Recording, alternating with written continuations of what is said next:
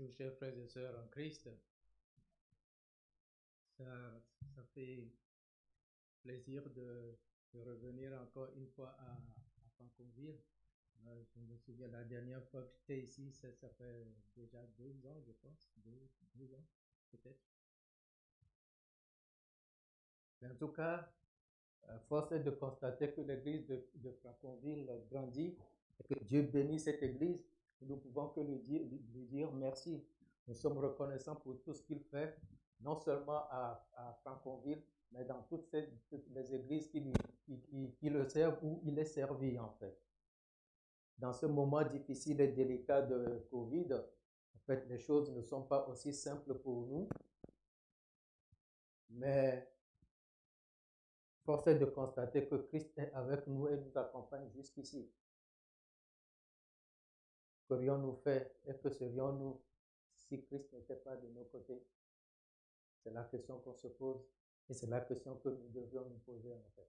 En tout cas, pour moi, c'est une joie d'être ici et de voir que tout le monde va bien. Que Dieu fait le mieux pour chacun. Et que nous avons toutes nos raisons de lui rester fidèles, ou du moins de, de, de, de nous accrocher à lui. Que Dieu nous bénisse et que Dieu nous garde en ce moment. Et permettez que nous puissions remettre ce moment entre les mains de l'Éternel alors que nous allons ouvrir sa parole.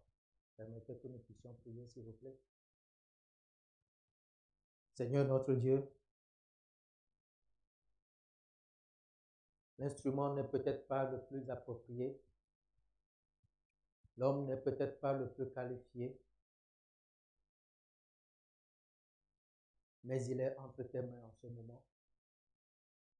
Et te prie tout simplement de vouloir, de bien vouloir l'aider à transmettre ce que tu as pour nous tous ici.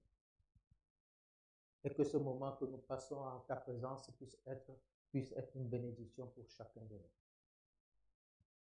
Pour que nous soyons en ce moment, ici, où Via est né. Que ton esprit soit avec nous, nous fasse du bien et surtout, Seigneur, nous aide encore à nous rapprocher de toi. Merci en Christ Jésus. Amen. Je voudrais remercier le frère Michael pour euh, euh, le test qu'il a, qu'il a lu tout à l'heure, test que nous trouvons dans 2 Rois chapitre 20, verset 1 jusqu'au verset 3. Et si vous permettez, ensemble, nous allons encore prendre ce test et nous allons lire jusqu'au jusqu'au verset jusqu'au verset 7 en fait. Je lis en ce moment, en ce, en ce temps-là, Ézéchias fut malade à la mort. Le prophète Ésaïe, fils d'Amoth, vint auprès de lui et lui dit Ainsi parle l'Éternel Donne tes ordres à ta maison, car tu vas mourir et tu ne vivras plus. Ézéchias tourna son visage contre le mur et fit cette prière à l'Éternel. Ô Éternel, souviens-toi que j'ai marché devant ta face avec fidélité et intégrité de cœur, et que j'ai fait ce qui est bien à tes yeux. Ézéchias répandit beaucoup, de, euh, répandit d'abondantes larmes. Ésaïe, qui était, qui était sorti, n'était pas encore dans la cour du milieu lorsque la parole de l'Éternel lui fut adressée en ces, ces termes. Retourne et dit à Ézéchias, chef de mon peuple, ainsi parle l'Éternel, le Dieu de David, ton père. J'ai entendu ta prière, j'ai vu tes larmes. Voici, je te guérirai pour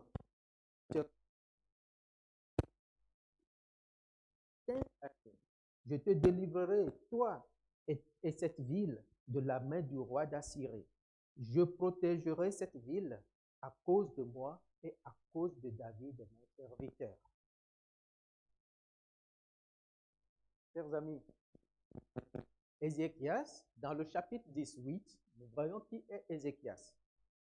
Le, chapitre le, 2 rois, chapitre 18, le verset, à partir du verset 1, Ézéchias est fils de David. Et il est, le, à partir du verset, du verset 1, on nous dit c'est la troisième année d'Osée, le fils d'Éla, roi d'Israël. Ézéchias, fils d'Akaz, roi de Juda, régna. Et il avait 25 ans lorsqu'il devint roi et il régna 29 ans à Jérusalem. Ézéchias est fils de David. Et David, à la mort de David, Dieu lui avait fait une promesse à David qu'il y aura toujours quelqu'un de sa descendance pour prendre le trône aussi longtemps que les, ses enfants seraient fidèles à sa parole. Donc, quand David est mort, Salomon a pris sa place. Et ainsi de suite, Dieu a pris le soin, a, garanti une, succession à David jusqu'à Ézéchias. Voilà que Ézéchias, à ce moment-ci, tombe malade. Et il était atteint d'un ulcère, la, Bible nous dit, et cet, ulcère, il ne devait pas en guérir. Alors Dieu a envoyé Esaïe, pardon, lui faire ce message. Lui dit, prépare ta maison, donne tes ordres, parce que tu ne survivras pas. Oh. Et Ézéchias a entendu euh, ces, propos et au lieu de, de, t'adresser à, à Esaïe, le porteur, le porteur du message, Ézéchias s'est tourné vers le mur et là il a prié. Mais si nous faisons attention à, ce que, à cette prière, on se demande ce que Ézéchias a demandé à Dieu. Dans cette prière qu'Ézéchias a faite, quelle a été la demande d'Ézéchias? Il a demandé, et pourtant dans la réponse que Dieu dit, Dieu, j'ai écouté ta prière et je vais l'exaucer. Et, j'ai vu tes larmes. Mais dans cette prière, qu'est-ce que Ézéchias a demandé À ce nouveau, vous et moi, nous ne pouvons pas répondre à cette question. Parce qu'il n'y avait pas de requête formulée dans cette prière. Il n'y avait, que, eu que des, paroles de, rappel à l'Éternel. Ézéchias n'a pas demandé à Dieu de, lui, en tout cas, expressement dans cette prière, Ézéchias n'a pas demandé à Dieu, pourquoi tu ne me guéris pas? Guéris-moi, j'ai besoin de cette guérison. Non. Ézéchias n'a même pas questionné la chose. Et il s'est tourné vers le mur. Et tout ce qu'il a pu faire, c'est de rappeler à l'Éternel la promesse que lui-même avait faite à David, son père. Et il a présenté quelque chose de particulier. Il s'est mis en ligne, en correct, avec cette promesse-là. Donc, d'une façon, d'une certaine manière, Ézéchiel disait à Dieu que j'ai marché selon, j'ai fait ce que tu as fait. J'ai fait ce que tu as demandé. J'ai fait ma part du contrat. Et le reste est en suspens. Vous savez quoi? Il y a deux choses que je voudrais, sur lesquelles je voudrais que nous puissions euh, euh, nous pencher dans, dans cet épisode, dans, dans cette histoire d'Ézéchias. Quand on est malade, la chose qui, est, qui va dans sa tête, l'espoir que l'on nourrit, c'est de sortir guéri de la maladie, n'est-ce pas? Quand nous allons vers un médecin qui, qui nous traite, nous sommes entre les mains des hommes, n'est-ce pas? Et un médecin peut se tromper. Il peut se tromper. Mais quand on reçoit de Dieu lui-même,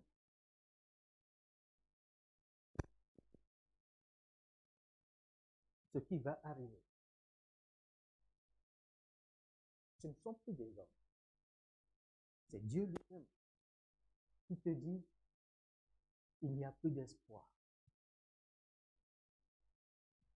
Quand un homme me le dit, je peux passer outre cet homme et chercher plus grand que cet homme pour résoudre mes affaires. De toute façon, dans la vie courante, c'est ce que nous faisons. Quand nous nous, sommes, bloqués par quelque chose ici, on essaie d'aller plus haut pour voir si plus haut on ne peut pas euh, ouvrir la porte, n'est-ce pas? Mais quand c'est le plus haut de haut qui dit, qui donne la sentence, qu'est-ce qu'on fait?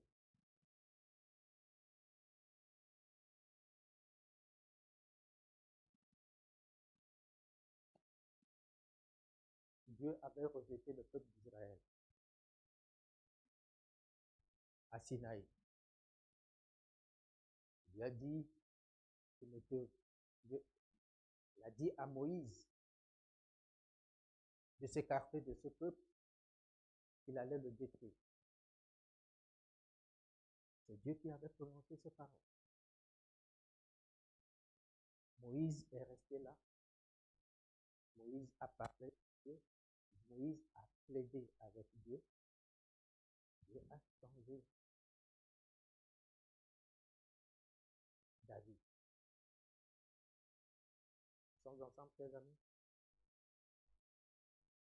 Et qu'est-ce que Moïse a dit à Dieu? Il s'est basé sur la promesse que Dieu a faite au peuple d'Israël avant de le faire sortir d'Égypte. Et de ce que les autres penseraient de Dieu si ce qu'il voulait faire là, là, se réalisait.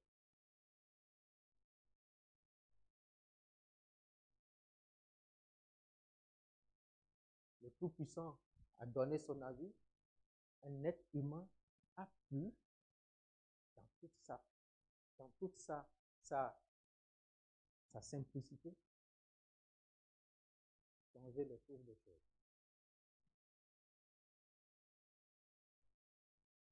Ézéchias s'est basé sur ce que Dieu a dit à son peuple, à son, père, pour faire cette prière de rappel à l'Éternel.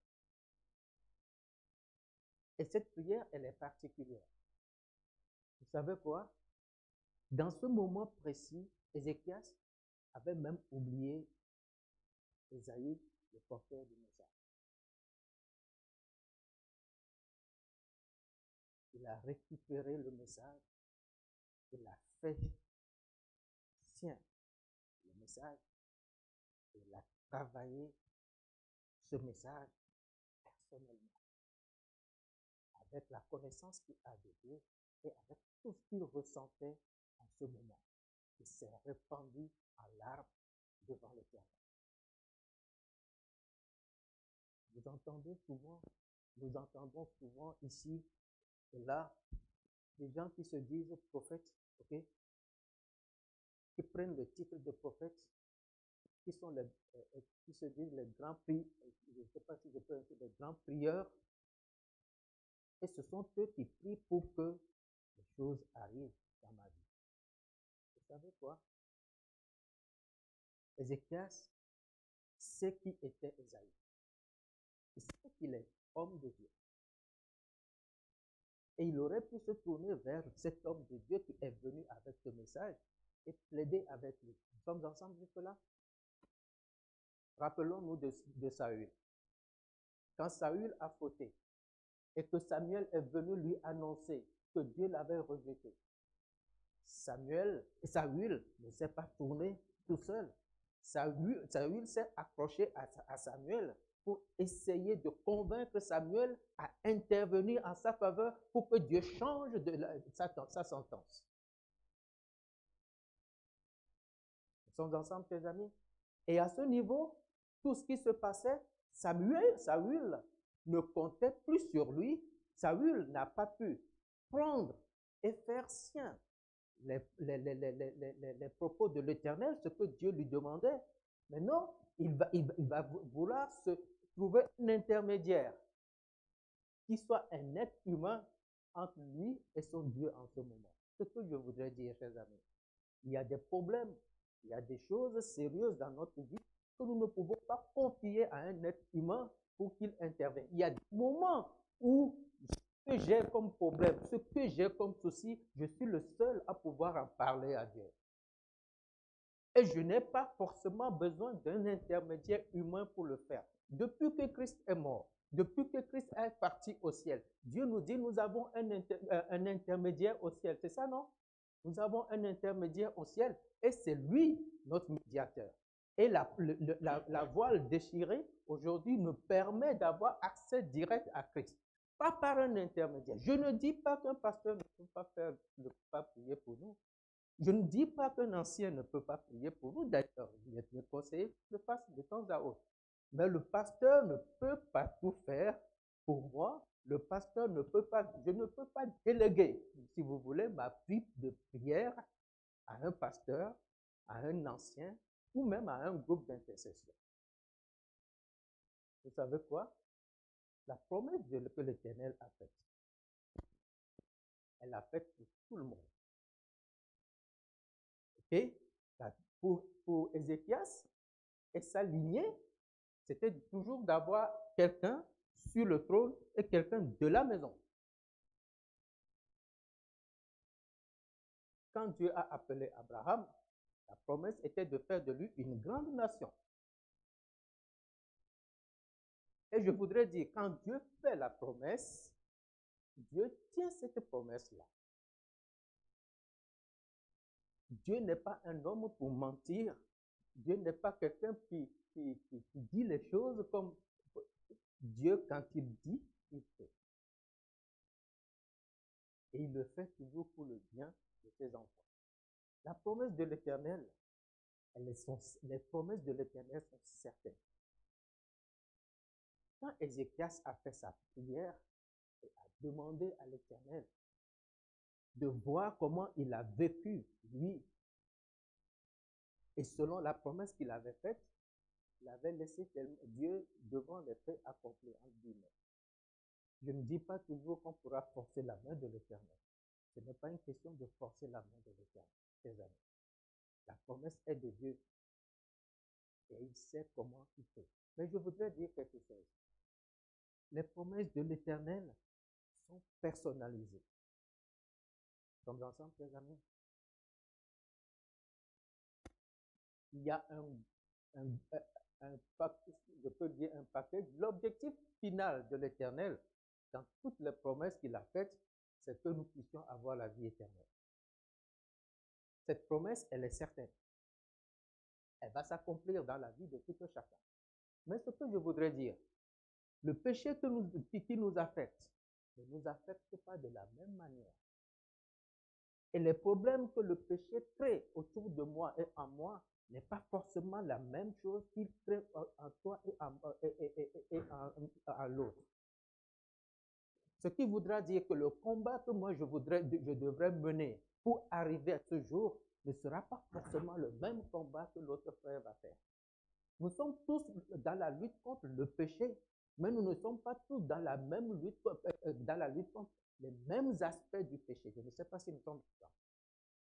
Du coup, la promesse qui va se réaliser et qui certainement va se réaliser va me conduire ou va vous conduire chacun dans, des, chemins différents. Mais ce n'est pas parce que je suis dans, ce chemin-là ou, dans d'autres que la promesse de l'Éternel ne tient plus. Les choses vont me, faire croire comme si les, événements de la vie vont me pousser, pourraient me pousser à croire que cette promesse ne pourra plus se réaliser. Mais cette promesse, c'est Dieu même qui l'a faite. Et quand il l'a fait, c'est qu'il est sûr de pouvoir le réaliser.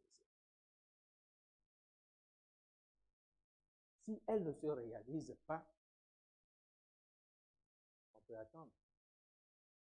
Et si jamais ça ne se réalise pas, faudra chercher. Nous sommes ensemble, les amis.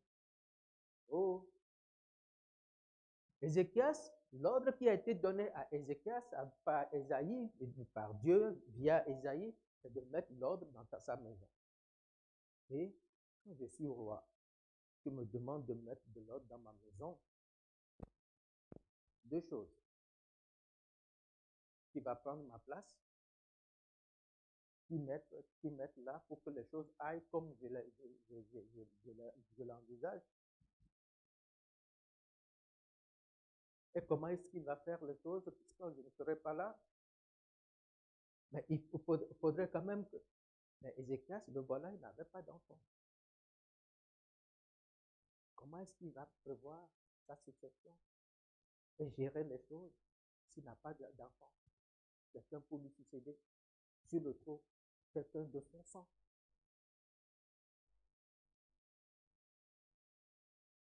J'ai l'impression que Dieu lui a envoyé ce message sur ce déclic. Je ne sais pas pourquoi Dieu lui a envoyé le message sous cette forme-là.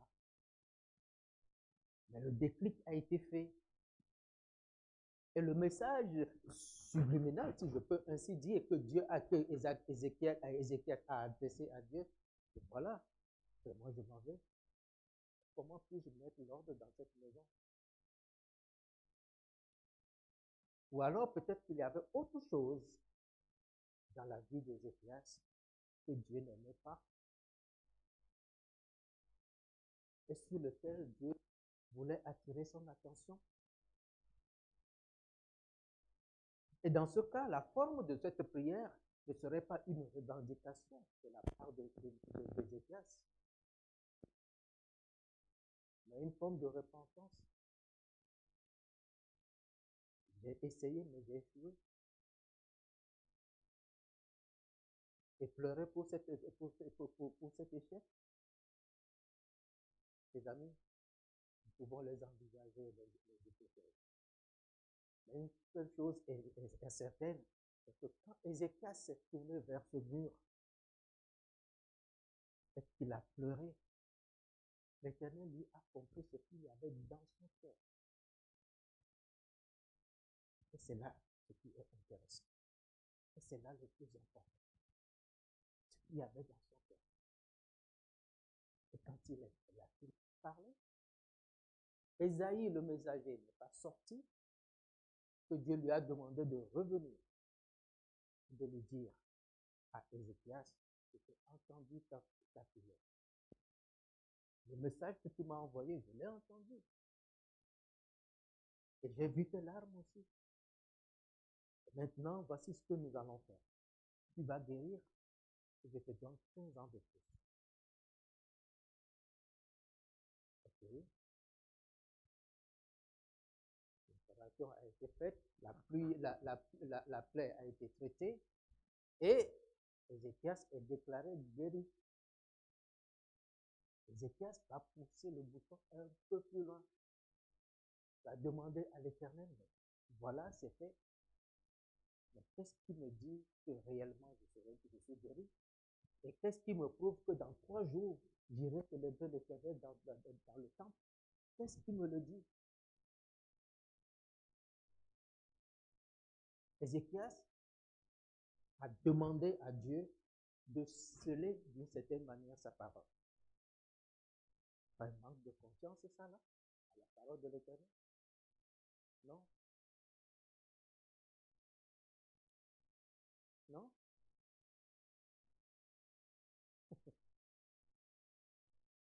Donne-moi un signe, comme quoi la parole que tu m'as donnée aujourd'hui, elle est vraie, elle est certaine. Je me souviens, les pharisiens avaient demandé un signe à Jésus-Christ. Vous vous souvenez? Pour prouver qu'il est Dieu, qu'il est Dieu. Jésus ne leur a pas donné ce signe-là. Il les a référés à un autre signe. Vous voyez un petit peu. Mais ici, Dieu va s'exécuter. Et Dieu va donner à Ézéchias un signe particulier.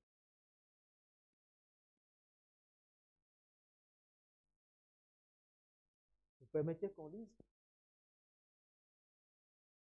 Je prends à, partir du verset 9. Ésaïe dit, Voici de la part de l'Éternel le signe auquel tu connaîtras que l'Éternel accomplira la parole qu'il a prononcée.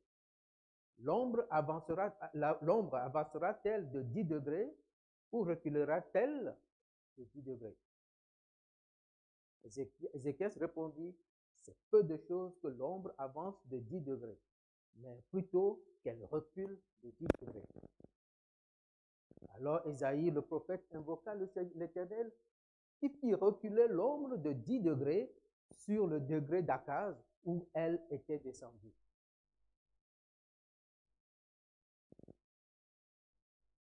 Voyons un petit peu L'histoire de, de ce degré d'Akaz, en fait.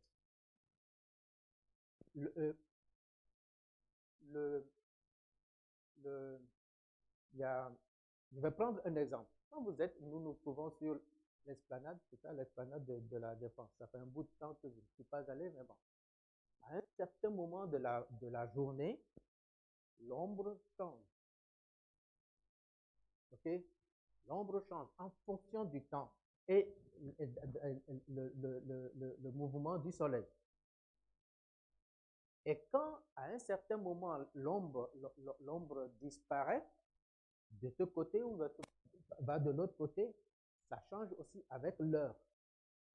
Nous sommes ensemble jusque-là Ce qui se passe avec Ézéchias, le, euh, les, commentateurs disent que le, c'était une, sorte de tour qui était là, avec une fenêtre et, et, et, et les escaliers. Quand on parle de degré, en fait, c'est une sorte de stage, de, de, de, un peu comme des escaliers, des choses qu'on monte avec des paliers. je ne sais pas si vous, vous, me suivez. Donc, du coup, dans, dans, dans, à travers la fenêtre et la position de, de, la tour, quand on voit, le, quand le soleil passe à un certain moment de la journée, l'ombre décline. L'ombre se voit sur la, la l'escalier de, cette, tour-là mais à un certain moment, quand ça descend et que l'ombre, envahit la tour, ça s'assombrit en fait d'une certaine manière. Et maintenant, la demande d'Ézéchias, c'est de, de, dire à l'Éternel que le temps, en fait, qui a coulé jusque-là, fais-le reculer.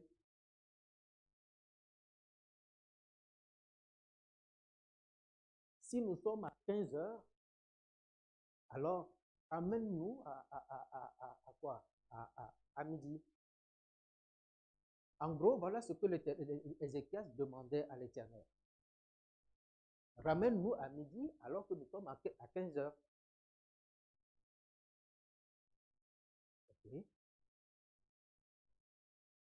C'est ce que Esaïe a demandé de faire. Et pour confirmer sa, parole, sa promesse, Dieu a fait reculer le ciel. Dieu a fait ce miracle pour Ézéchias. Ce que je voudrais dire. Vous savez, le soleil, dans sa course, le matin, il fait beau, le soir, il fait noir. Le psalmiste nous dit que notre vie, c'est comme OK? Le matin, il se lève, elle, se lève bien fraîche. Le soir, ça sèche et c'est parti. C'est ce que je voudrais dire. Quand nous disons que l'ombre arrive sur ma vie, je vais vers le déclin de ma.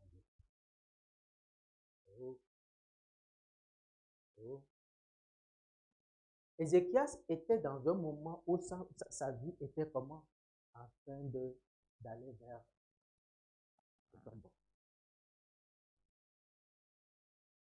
Et Dieu va lui montrer qu'il a le pouvoir, non seulement sur le temps, mais aussi sur tout ce qui peut se passer à l'intérieur de son corps et de son cœur.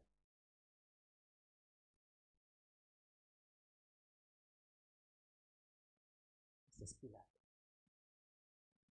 quand je vois Ézéchias demander tant de choses, et je vois mon Dieu s'exécuter devant, je me pose cette question. Qui il est ce Dieu? Dites-moi qui il est. Je ne sais pas si je le connaîtrai assez avant de me remettre en question.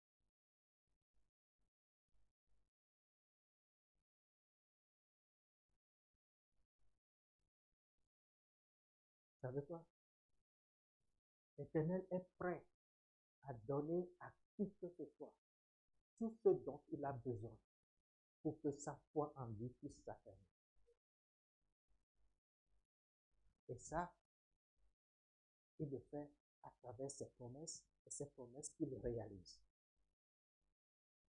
Mais il va falloir que nous aussi nous apprenions à réclamer ces promesses-là. Les promesses de Dieu sont faites mais il faudra que nous aussi nous les réclamions. Nous sommes ensemble, chers amis. Oui, Dans ma vie de, de famille, j'ai des soucis. Mais Dieu a promis le bonheur au sein du foyer. Non? Dieu n'a jamais béni un foyer avec des, des, des, des, malédictions. Je, m'entends avec le jeu de mots. Dieu n'a jamais béni un foyer avec la malédiction.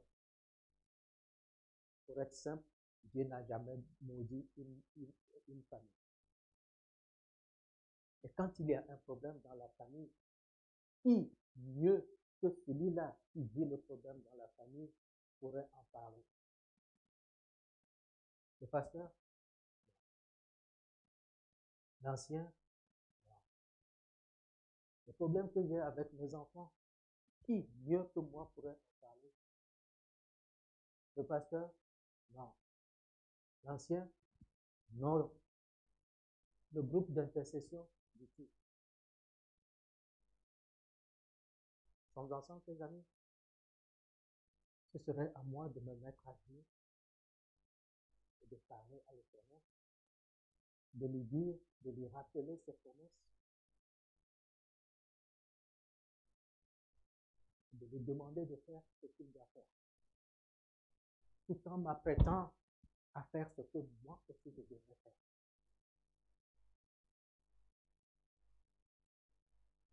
C'est pas si nous sommes ensemble, les amis. Et tant que les choses ne seront pas de cette, ne, ne se passeront pas de cette manière, il y a des bénédictions et des promesses que nous ne verrons jamais s'accomplir dans notre, dans notre vie de chrétien. Oh, ce n'est pas que nous pourrons toujours porter la main de l'éternel. Ce n'est pas ça. Mais je dis que tout ce qui est nécessaire pour toi, Dieu ne te le refusera jamais.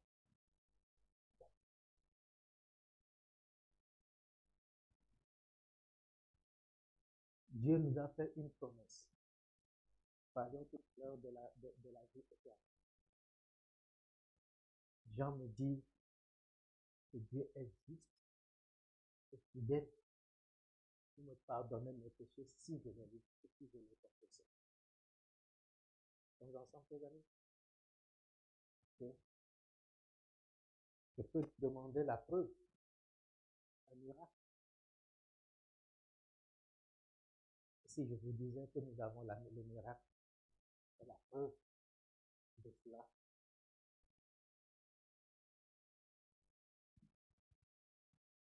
Si aujourd'hui nous cherchons la preuve que Dieu est fidèle pour nous pardonner nos péchés, regardons à la croix.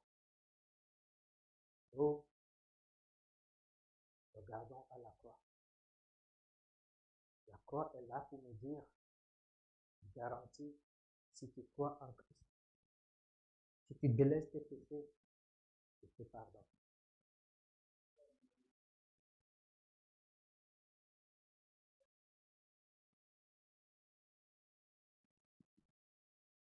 Mes amis, il n'y a pas un seul péché. Mon frère, ma, ma, ma soeur et mon frère,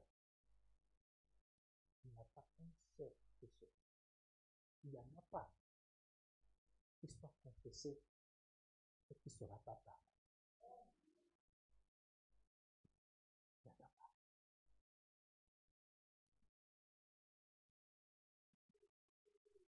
Il n'y en a pas. Tout péché reconnu, confessé et pardonné. Vous voyez, je ne connais pas la, tout ce que la vie d'Ézéchias de, fut. Si ce qu'il a dit de sa vie était jusque-là, était vrai, que sa vie a été parfaite, j'ai une seule chose que je sais. Nul n'est parfait aux yeux de l'éternel et rien de ce que je pourrais faire de, parfait pourrait satisfaire ou forcer la main de l'éternel à faire quoi que ce soit pour moi. Il cela n'existe pas. C'est la raison pour laquelle nous dit que nous sommes sauvés par la grâce et ce n'est pas par moi, nos, ce n'est pas par uh, nos œuvres. C'est une grâce. Et vous savez quoi? Dieu a offert à Ézéchias une deuxième chance. 15 ans de plus. 15 de plus pour se refaire. Vous savez comment 15 ans ont été ce qui a le plus marqué ces 15 ans?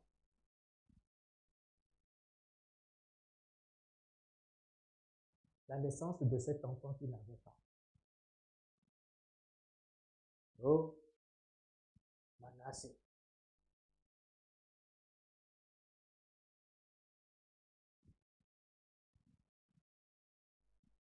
Deuxième chose, la visite des Babyloniens.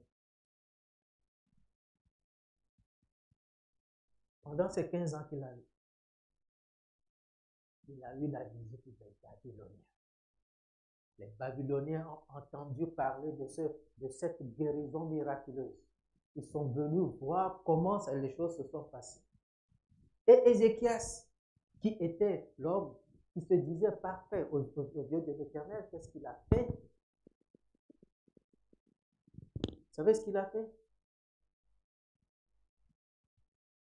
Il a montré la richesse de, de l'Éternel à ces gens-là. Et il s'est vanté, excusez-moi le terme, de cette richesse-là. Et juste après, Dieu lui dit, quand ces gens sont venus chez toi, qu'est-ce qu'ils ont vu? Ces gens n'ont pas vu le miracle que j'ai accompli pour toi.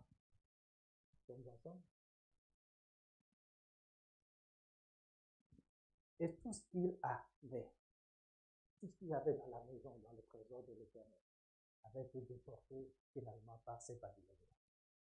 Dans les 15 ans que Dieu lui a donné. Dieu a écouté sa prière. Dieu a exaucé cette prière. Il a eu un enfant. C'est bizarre. Mais Manassé fut l'un des pires rois que Judas a connu. Manassé fut l'un des pires des rois que le, Israël, Judas a connu. La Bible dit que Ézéchias a marché selon la voie de l'Éternel. Quand vous prenez le record de Manassé, il fit ce qui est mal devant l'Éternel. C'était son fils. Il a conçu après sa maladie. Dans le temps de grâce qui lui avait été donné. Oh, ce que je dis, c'est pas ce n'est pas nous qui avons une seconde prêt à nous. Juste attention. Que ce que Dieu nous donne, qu'on puisse en faire bon usage. Pour que ce, pour, que ça ne, ça ne que, ce privilège ne nous détruise pas finalement.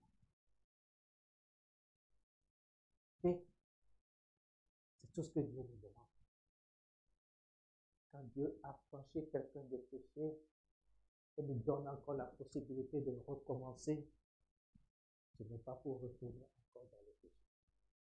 Et si par la grâce de Dieu, je ne suis pas tombé dans le péché jusque-là, et que ma vie continue, ma prière devrait être que Dieu me maintienne dans ce droit chemin.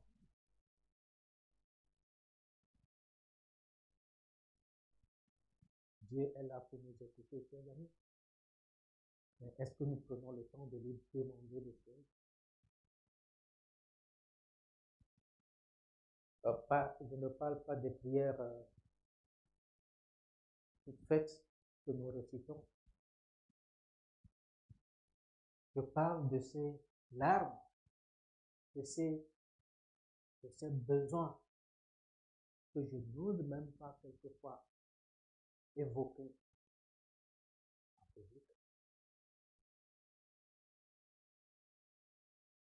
Mais que Dieu sait bien. Peut-être dans ma tête, je me dis, pour moi, c'est mort. Excusez-moi de le dire comme ça. Pour moi, c'est fini. Ce n'est pas la peine de, de déranger Dieu pour ça. Ou alors, ce n'est plus la peine de déranger Dieu pour ça. Euh, Dieu dit qu'on ne le dérange Non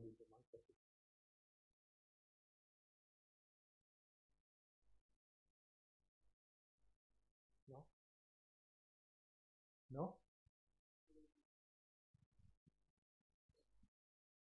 Dieu dit qu'on ne le dérange pas quand on demande avec persistance, avec insistance et avec euh, persévérance.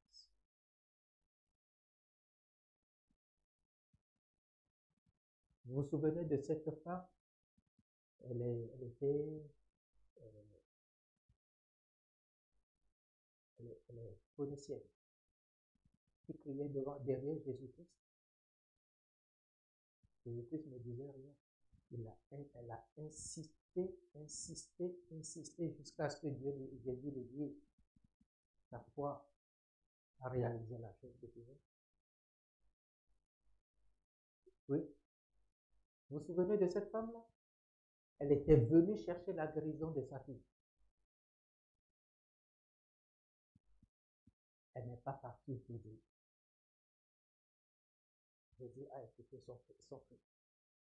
Malgré le silence du début. Les choses ne sont pas scellées. Et même si Dieu le dit, Dieu n'est pas un monstre. Dieu est un père. C'est un père. Et il demande seulement une chose, qu'on le connaisse. Et qu'on vive en fonction de ce que nous connaissons de lui. Sommes ensemble, chers amis? Qu'on le connaisse et qu'on vive en fonction de ce qu'on ce connaît. Et ce qu'on connaît de lui, ce que nous devons connaître de lui, c'est ce qu'il nous révèle. Il dira au peuple d'Israël qui sont dans Deutéronome 16 et 16, ce que je te révèle, c'est ce qui est pour toi. C'est ce qui est nécessaire pour ta vie. C'est ce ce avec quoi tu dois faire. Nous sommes ensemble. Le reste que tu ne connais pas, ça, c'est mon milieu. Tu aventures même pas. Dieu ne fera pas les choses exactement comme nous le voulons. Si c'était le cas, il y a longtemps que certains auraient mis Dieu dans leur poche. Sont ensemble. Et Dieu, on ne peut pas le contrôler. Et le projet de ma vie, ce n'est pas moi qui l'ai fait, c'est lui qui l'a fait pour moi. Je ne sais pas si nous sommes ensemble. Je ne parle pas de ma vie. Je parle de ma vie. Je ne sais pas si vous me suivez. Je voudrais tout simplement parler à votre place. Le projet de vie, la mienne, le mien, le vôtre, ce n'est pas qu'il avait fait.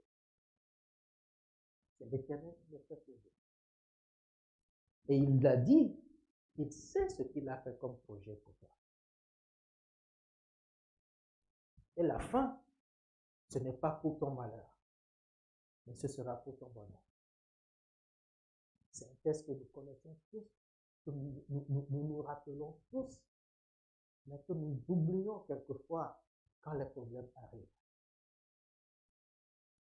Mais nous oublions aussi que ce texte, Dieu l'a envoyé au peuple d'Israël au moment où il était en déportation Chers amis, quand Dieu fait une promesse, Dieu tient toujours cette promesse.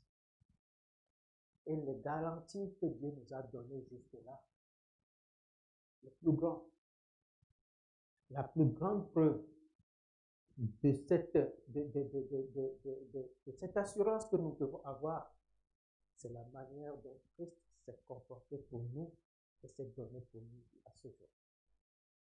Alors, est-ce que la vie éternelle va être possible? Oui, si tu crois. Parce que la promesse est que je suis parti, mais je reviendrai te prendre avec moi. Que là où je suis, tu y sois aussi. Quelle garantie est-ce que j'ai? Je ne viendrai pas mourir pour toi si je ne devrais pas revenir. Est-ce que ça te suffit, mon frère, pour être euh, comme assurance? Ça suffit pour être comme assurance? Si oui, je voudrais tout simplement que nous prions. Que nous ayons nos regards fixés sur l'éternel et que cette, cette foi me rappelle tous les jours que les promesses de l'éternel, quelles qu'elles soient, vont se réaliser dans ma vie. Et que tout ce qui doit meubler ma vie sur cette terre, jusqu'à ce que Christ revienne, et que cette grande promesse puisse se réaliser, Dieu me l'accordera. Parce que ce sera ce qui va me déplier, ce qui va me former, ce qui va me, me, me, me, me, me transformer et me faire enfant de Dieu, c'est-à-dire être dans l'équipe qu'il viendra chercher. Ma prière est que Dieu puisse nous aider à y arriver. La promesse est certaine. C'est Dieu qui l'a fait. Promesse de ton bonheur, elle est certaine, cette promesse, parce que c'est Dieu qui l'a fait. Pour peu que tu l'acceptes comme Dieu et comme Seigneur. Que Dieu nous aide et qu'il nous soutienne. Que Dieu nous bénisse tous. Amen.